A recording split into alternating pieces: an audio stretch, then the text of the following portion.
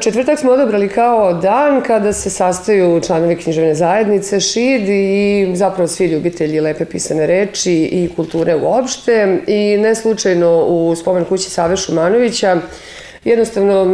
nekako njegovo uh, delo i njegov lik se tamo najbolje prožimaju, da tako kažem, i pogotovo taj prostor na otvorenom u dvorištu, uh,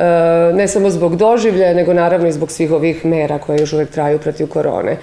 Mm, eto, kažem, prosto svako veče je posvećeno na neki način Savi Šumanoviću, pogotovo eto prošlo koje je bilo u stihovima, kada su pesnici govorili ono što su napisali o njemu. Sutra biće to nešto malo drugačije, neobičnije, e, javno čitanje jednog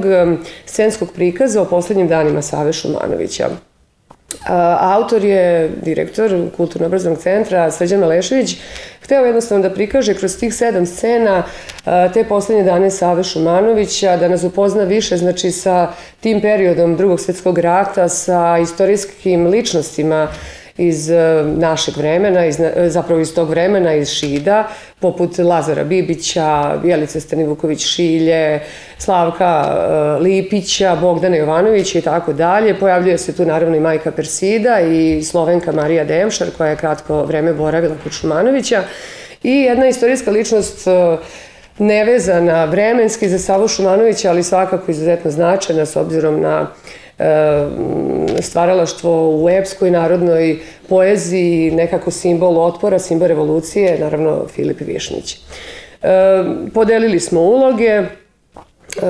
svako od članova knjižne zajednice i glumaca, amatersko pozorište Branislav Nušić, eto pokušat će da dočara lik koji glumi, da možda i publiku upozna sa nekim detaljima o kojima ne znaju ili malo znaju iz tog vremena. I eto, nadam se da će nas poslužiti pre svega vreme, e,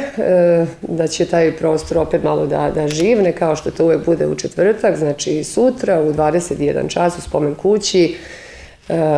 istorijski znači, prikaz smrti Save Šumanovića pod nazivom potpis, eto još samo to da dodam s obzirom da je Sava Šumanović odbio da se potpisuje na slike kada je NDH u ono vreme zabranilo da se to radi ćirilicom eto na neki način i to simbolično naziv ovog dela.